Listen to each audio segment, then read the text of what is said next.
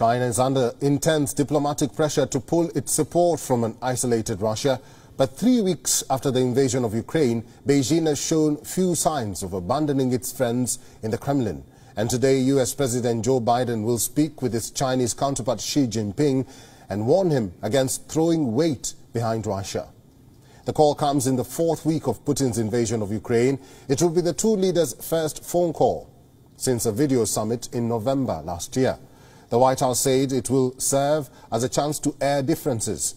Trade rows and snarled international supply chains will also be discussed. But a big focus is expected to be the Western bid to force Russia out of Ukraine.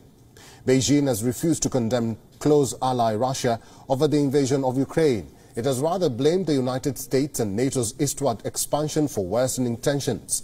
The United States is spearheading the unprecedented pressure campaign on Russia as stated by the White House, in today's call, Joe Biden will warn Xi Jinping that he will face costs if Beijing rescues ally Russia from intense Western sanctions.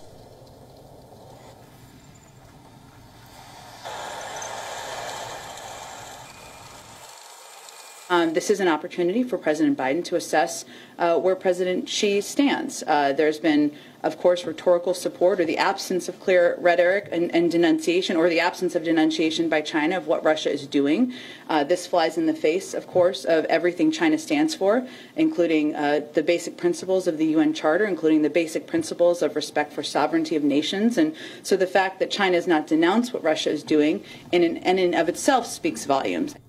Biden has assembled a tight Western alliance against Russia while also giving military support to Ukrainian forces. But Beijing has refused to condemn Moscow. As recently as last week, Beijing called the partnership between the two countries rock solid.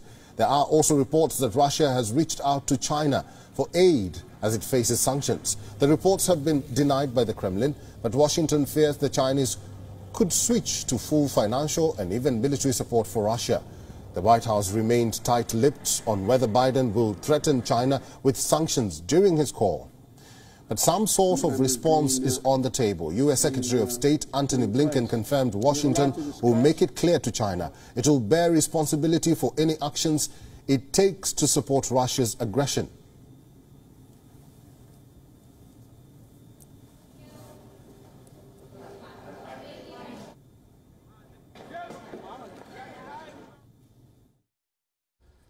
We believe China in particular has a responsibility to use its influence with President Putin and to defend the international rules and principles that it professes to support.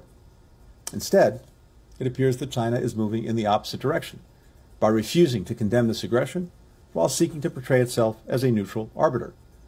And we're concerned that they're considering directly assisting Russia with military equipment to use in Ukraine.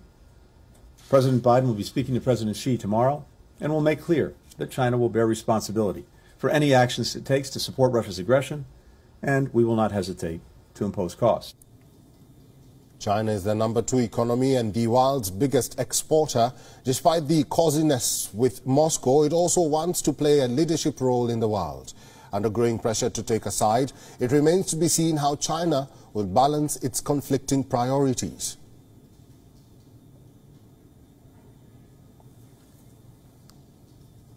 WION is now available in your country. Download the app now and get all the news on the move.